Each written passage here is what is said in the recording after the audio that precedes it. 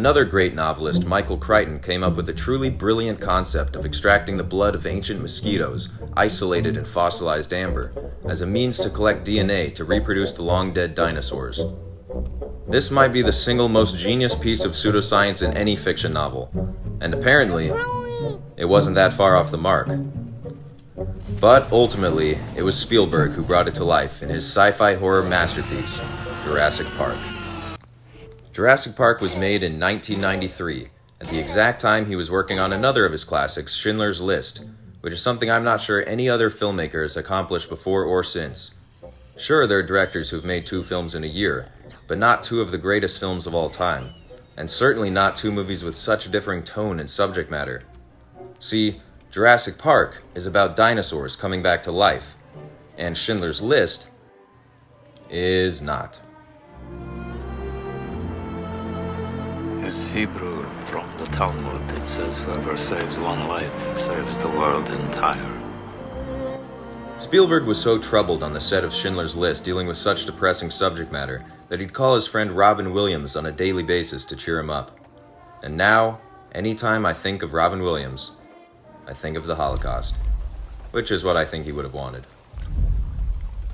Jurassic Park paved the way for CGI, or computer generated imagery, before 1993, no other film had come close to making the new technology even remotely believable.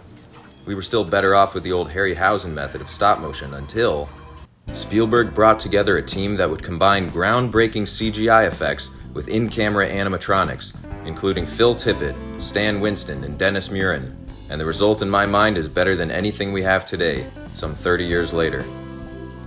However, what's really lacking today is the grounded realism of the era, the story, the writing, the seriousness with which the subject matter was treated by the all star team of actors. That's what sold Jurassic Park. The effects just stuck the landing.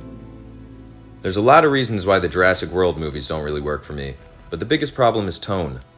Generally, that's going to be inevitable when you try to reboot something decades later. More often than not, the sensibilities of the era have changed enough that it's an uphill battle just to try and recapture the energy of the time when the film was originally made. Of course, there are exceptions. Mad Max, Top Gun, and Blade Runner were all rebooted in spectacular fashion without missing a beat.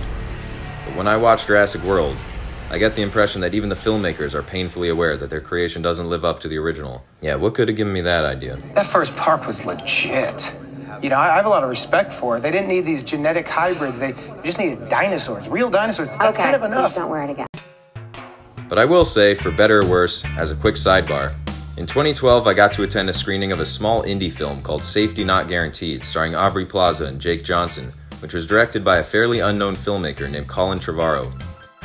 Cut to three years later, and he's directing on one of the biggest franchises of all time. So that just goes to show that anything is possible in this business if you keep at it. And the Oscar goes to. Clark.